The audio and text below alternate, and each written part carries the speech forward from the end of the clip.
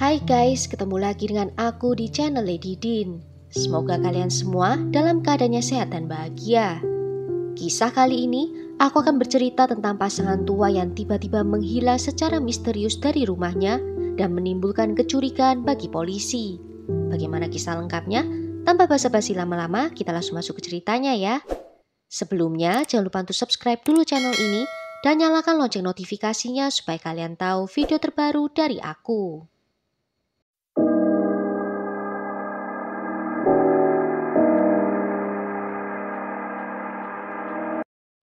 Carol dan Reggie Sumner adalah pasangan kekasih semasa di SMA, namun akhirnya mereka putus setelah lulus SMA. Carol kemudian menikah dengan pria lain dan menjadi seorang ibu. Dia sempat menikah dua kali, namun dua-duanya harus kandas di tengah jalan. Sedangkan Reggie bertugas di Angkatan Laut. Dan empat dekade setelahnya, pasangan itu kembali bertemu tepatnya pada tahun 2000. Dan mereka kembali menjalin hubungan di mana di tahun 2001 Reggie dan Carol memutuskan untuk menikah dan tinggal di South Carolina sebelum akhirnya pindah ke Jacksonville di Florida. Reggie kemudian memutuskan kalau pindah ke kota itu akan menjadi hal yang bagus untuk kesehatannya dan Carol menyetujui hal itu. Pada tanggal 8 Juli tahun 2005, terjadi insiden yang mengubah seluruh kehidupan mereka. Reggie dan Carol diserang dan diculik dari rumah mereka sendiri. Putri dari Carol menelpon ke polisi pada tanggal 10 Juli untuk melaporkan kalau orang tuanya menghilang. Dia menjadi khawatir setelah lebih dari satu minggu dia tidak dapat menghubungi ibunya. Ketika polisi tiba di rumah itu, mereka menyadari kalau mobil pasangan itu menghilang. Pintu depan rumah juga dalam keadaan terbuka dan rumah itu terlihat seperti ditinggalkan begitu saja di mana ponsel Carol masih dalam keadaan di charge dan obat-obatan mereka juga masih tertinggal di dalam rumah. Semua orang terkejut mendengar berita hilangnya pasangan itu dan media dengan cepat memberitakannya. Detektif segera memulai penyelidikan dan polisi menelpon ke bank untuk mencari tahu apakah ada aktivitas yang aneh dari rekening bank mereka. Polisi juga mengeluarkan peringatan di seluruh negara bagian untuk mencari mobil yang hilang dan dua hari kemudian mereka menemukan mobil itu ditinggalkan di Florida dalam keadaan tak terkunci. Lima jam setelah mobil itu ditemukan, polisi menerima panggilan telepon yang aneh, di mana orang itu berpura-pura menjadi Reggie, mengatakan kalau dia mendapatkan info dari tetangganya kalau garasi rumahnya dalam keadaan terbuka dan mobilnya hilang. Pria itu juga mengatakan kalau ada masalah dengan kartu ATM-nya. Tetapi mendengar suara itu, polisi langsung mengetahui kalau itu adalah suara seseorang yang berusia 20 atau 30 tahun, bukan suara orang yang berusia 60 tahun. Polisi mulai mencoba mencari dari mana panggilan itu berasal dan melihat data panggilan. Dari penyelidikan lain dari catatan bank menunjukkan kalau kartu pasangan itu aktif menarik uang dari berbagai mesin ATM. Kamera keamanan menangkap visual orang-orang yang menggunakan kartu itu dan dari catatan telepon diketahui kalau nomor yang menelpon itu telah digunakan untuk menelpon perusahaan rental mobil. Dan mobil yang disewa sama persis dengan yang terlihat di beberapa CCTV di mesin ATM. Pada akhirnya diketahui kalau orang yang berpura-pura sebagai pasangan yang menghilang itu adalah pasangan Tiffany Cole dan Michael Jackson.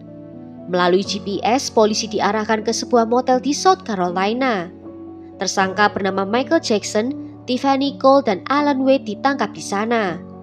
Ketiganya pun diinterogasi dan Tiffany mengaku atas keterlibatannya dalam perampokan. Namun mengatakan kalau dia dan Michael tidak mengetahui di mana keberadaan pasangan itu. Namun tiba-tiba Tiffany memberitahu nama satu tersangka lainnya. Dan dengan segera, tersangka keempat yang bernama Bruce Nixon juga ditangkap di Jacksonville. Dan berkat informasi darinya, pada tanggal 16 Juli, tubuh tak bernyawa Carol dan Reggie berhasil ditemukan. Mereka berdua ditemukan dalam posisi berjongkok dan saling berpegangan tangan. Dan dari hasil otopsi, mengungkapkan bahwa pasangan itu dikubur dalam keadaan hidup-hidup. Dan mereka meninggal disebabkan sesak nafas karena adanya kotoran yang menghalangi saluran pernafasan mereka. Dan dalam penyelidikan lebih lanjut, mereka menemukan plot penculikan yang mengerikan. Tiffany ternyata mengenal pasangan itu saat mereka semua tinggal di South Carolina. Mereka adalah tetangga dan mereka sangat berhubungan dekat. Carol mengenal Tiffany sejak dia masih kecil. Dan sebelum pindah, pasangan itu menjual mobil mereka ke Tiffany dan Tiffany rupanya sering melakukan perjalanan ke Jacksonville untuk melakukan pembayaran cicilan mobil. Saat itu Tiffany sedang menjalin hubungan dengan Michael dan dalam satu kunjungan ke Jacksonville, keluarga Sumner mengizinkan pasangan itu untuk tinggal di rumah mereka. Michael dan Tiffany menyadari bahwa Carol dan Reggie tampaknya adalah pasangan tua yang cukup berduit dan bisa menjadi sasaran empuk karena usia mereka yang sudah cukup tua. Selain itu mereka juga dalam kondisi kesehatan yang buruk, di mana Carol sedang berjuang melawan kanker hati, sementara Reggie hidup menderita diabetes parah dan mereka memutuskan untuk merampok Reggie dan Carol. Michael dan Tiffany mengajak temannya yang bernama Alan dan Bruce untuk ikut serta dalam rencana mereka. Dan keempatnya lalu mengawasi rumah itu selama berhari-hari dan juga pergi membeli lakban, plastik, dan sarung tangan. Tiffany juga menyewa mobil dari South Carolina. Dan pada tanggal 8 Juli, rencana itu akhirnya dijalankan.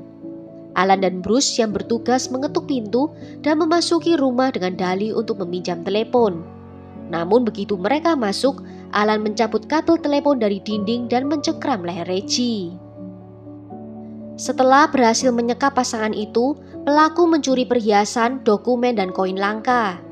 Bruce juga memaksa mereka masuk ke garasi dan masuk ke dalam bagasi mobil mereka sendiri dan mobil itu kemudian dibawa pergi oleh Alan dan Bruce, sementara Michael dan Tiffany mengikuti dari arah belakang. Kedua mobil itu terus berjalan menuju ke lokasi terpencil di Georgia, di mana mereka telah menggali kuburan beberapa hari sebelumnya. Dan akhirnya pasangan itu didorong masuk ke dalam lubang itu dan dikubur dalam keadaan hidup-hidup. Bruce yang bekerja sama dengan pihak berwenang mengatakan bahwa Michael membohongi pasangan tua itu untuk memperoleh PIN ATM dengan mengatakan kalau mereka akan dibebaskan asal memberitahu PIN ATM-nya. Namun yang terjadi malah sebaliknya dan pelaku terus menarik uang menggunakan kartu ATM itu. Selanjutnya Tiffany dan Alan kembali ke rumah untuk mencuri komputer yang kemudian mereka gadaikan untuk mendapatkan uang tunai. Dan pada hari-hari berikutnya, sekitar 5.000 dolar Amerika ditarik dari rekening Bank Sumner. Pihak berwenang menemukan sidik jari yang kemudian cocok dengan Michael di mobil yang ditinggalkan.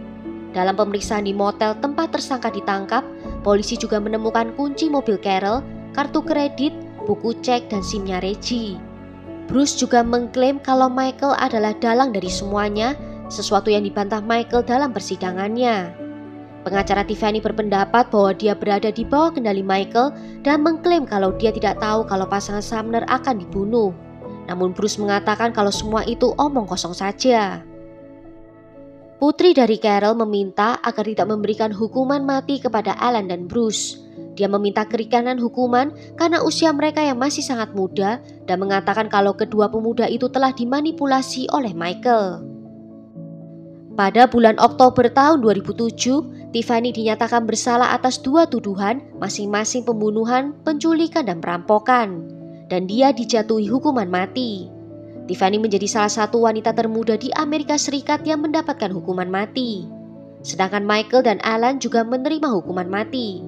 Dan Bruce yang mengaku bersalah dan mau bekerja sama dengan polisi mendapatkan hukuman yang lebih ringan dan dia dijatuhi hukuman penjara selama 45 tahun. Pada bulan Juni tahun 2017, hukuman mati untuk mereka bertiga akhirnya dibatalkan berdasarkan putusan bahwa keputusan juri untuk menjatuhkan hukuman mati tidaklah bulat. Mereka semua tetap dipenjara di lembaga permasyarakatan menunggu sidang yang baru.